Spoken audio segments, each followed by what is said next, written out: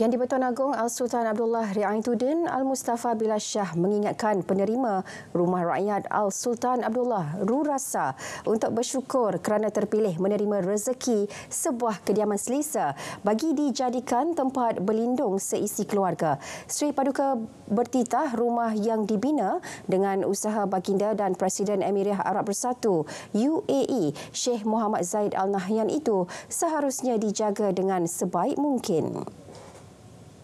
Al-Sultan Abdullah turut menzahirkan penghargaan kepada Kerajaan Pahang kerana berusaha mempercepatkan pembinaan rumah yang menelan kos antara RM75,000 dan RM100,000 sebuah. Selain turut berkongsi kriteria pemilihan penerima rumah. Bismillahirrahmanirrahim. Assalamualaikum warahmatullahi wabarakatuh. Dasarkan kepada lokasi tempat dan uh, uh, berdasar kepada lokasi tempat.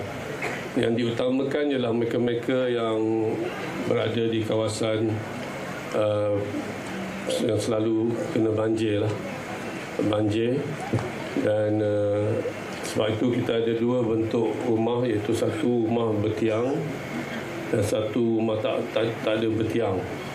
So saya sendiri tak tahu uh, lokasi rumah-rumah ya yang telah dipilih oleh pejabat daerah. Uh, pejabat daerah lah yang bertanggungjawab. Uh, dan saya harap tak adalah penghuni-penghuni sini mempersoalkan kenapa rumah saya tak ada berkaki lah, tak ada bertiang lah. Kenapa rumah saya begini begitu. Jangan saya harap tidak ada uh, soal-soal seperti ini dalam minda kita. Ini semua kehendak Allah SWT rezeki daripada Allah SWT Baginda bertitah semasa mencemaduli menyempurnakan majlis penghunian replika kunci Rurasa di Kampung Kedondong Jerantut. Sementara itu, penerima pen- menjunjung kurnia terhadap rumah yang diterima dan menyifatkan ia sangat sempurna. Uh, saya nak mengucapkan terima kasih saya kepada uh, tuanku kerana telah mengurniakan rumah yang sangat selesa lah bagi kami sekeluarga. Uh, dan uh, sebelum ni rumah kami uh, sering dilanda, dilanda banjir lah dengan uh, apa ni kurnia tuanku. Rumah yang begitu selesa kepada kami keluarga, uh, sekeluarga ini sangat sangat kami hargai dan syukuri. Dalam pada itu, Al-Sultan Abdullah hari ini berkenan merasmikan pusat hemodialisis kelima Yayasan Sultan Abdullah Yasa di Taman Impian Permai Jerantut Pahang. Keberangkatan baginda diiringi anak-anda pemangku Raja Pahang, Tengku Hasanal Ibrahim Alam Shah. Pada majlis itu, Sri Paduka berkenan meluangkan masa menyantuni pesakit yang sedang menjalani rawatan di pusat hemodialisis itu. Baginda kemudiannya berkenan menyaksikan penyerahan ambulans pertama kepada Yasa dilengkapi alat bantuan pernafasan bagi tujuan rawatan bagi kes trauma serta kecemasan. Pusat hemodialisis yang dilengkapi 12 mesin dialisis itu beroperasi pada Isnin hingga Sabtu dari pukul 7 pagi hingga 5 petang dan istimewanya kos rawatan pesakit ditaja sepenuhnya Yasa. Festa Usahawan Desa 2023 at Felcra, anjuran Kementerian Kemajuan Desa dan Wilayah KKDW. Inisiatif bantu usahawan desa agar terus berani tampil dan memperkenalkan produk mereka ke tahap lebih luas. Menurut Ketua Pegawai Eksekutif Felcra, Dato' Idris Lasim, program itu sekaligus mampu memperbaiki taraf sosioekonomi golongan tersebut. Ini kita ada main produk kita adalah ayam dan juga beras. Ayam ni adalah ayam keluaran kita sendiri. Di sini juga terdapat banyak produk-produk yang perlu ataupun yang boleh kita ketengahkan lah. Sambutan yang diberikan kepada produk-produk yang kita keluarkan pada ini amat menggalakkan. Harap-harap hari ini insyaAllah kita akan capai rasanya tak cukup lah ni. Festa-festa keusahawanan kita ini kita akan laksanakan di tempat-tempat lain juga. Berlangsung di Bandar Sri Bandi Cukai, program tersebut terima sambutan menggalakkan. Usahawan terlibat berharap program seumpama itu dipergiat agar usahawan desa tidak terpinggir.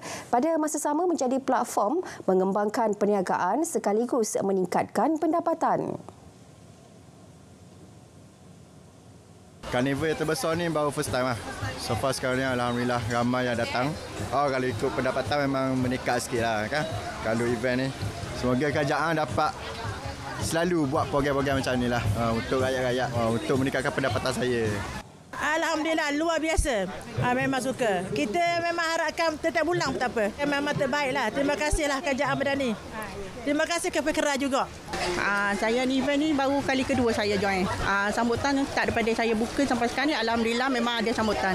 Penempatan alhamdulillah. Kalau ada event lagi selepas ni insyaallah saya akan join lah.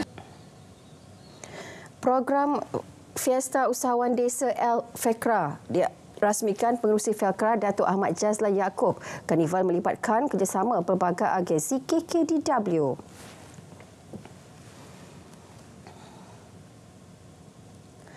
Galeri Mini Petronas di Perpustakaan Awam Pekan Kertih PAPK terus terima sambutan memberangsangkan terutama pelajar.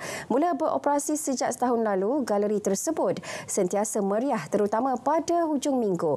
Tarikannya informasi dan pendedahan berkaitan industri minyak dan gas serta termasuk bagaimana proses cari gali minyak dilakukan. Selain kemudahan yang kondusif untuk mengulang kaji. Uh, dengan adanya mini galeri ini mampu orang kata memberi pendedahan yang lebih kepada komuniti setempat. Uh, bukan sahaja kepada orang kata uh, anak-anak anak-anak remaja uh, termasuk juga kepada golongan ibu bapa. Sebab golongan profesional macam cikgu-cikgu dan juga staf daripada Petronas sendiri pun dia orang datang ke sini untuk orang kata uh, melihat uh, apa orang kata pameran yang disediakan Siapa suruh datang sini selalu? Ibu. Ibu. Suka tak mari sini? Suka. Suka. Kalau adik-adik lain ada mari tak? Ada. Ada? Ada. Adik Wafi kira ada tiga ni. Berapa tahun dah? Berapa kali dah mari sini? Kerap lah atau hari-hari? Mari hari-hari kalau ada kafa, tak hari. Sebab kalau kita baca sini macam lain Tapi kalau kita baca macam kat rumah kat mana kita dah lain Sebab nak kata kat dalam pustaka ni senyap tapi kalau kita baca kat rumah rumah macam time ni pun hujang nak baca sebab bunyi air bising PAPK dibuka setiap Sabtu hingga Kamis. Waktu operasi bermula pukul 9 pagi hingga 5 petang kecuali Kamis yang dibuka hingga 1 tengah hari.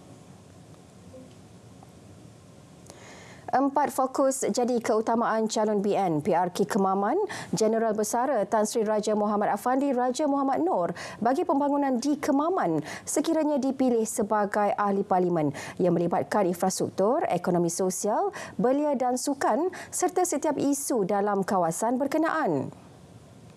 Menurut beliau, sepanjang tujuh hari berkempen, banyak keluhan didengar daripada penduduk terutamanya golongan muda yang mengharapkan peluang pekerjaan.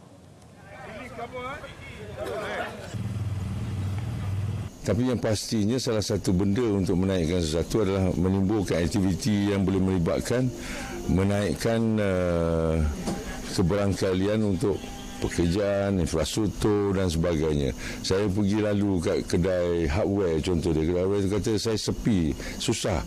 Ya, kerana tak ada orang beli barang. Apa maksudnya? Maksudnya tidak ada tidak ada projek, tak ada economic uh, activities yang berlaku. Uh, jadi sesuatu projek datang tu ada ada dia punya limpahan.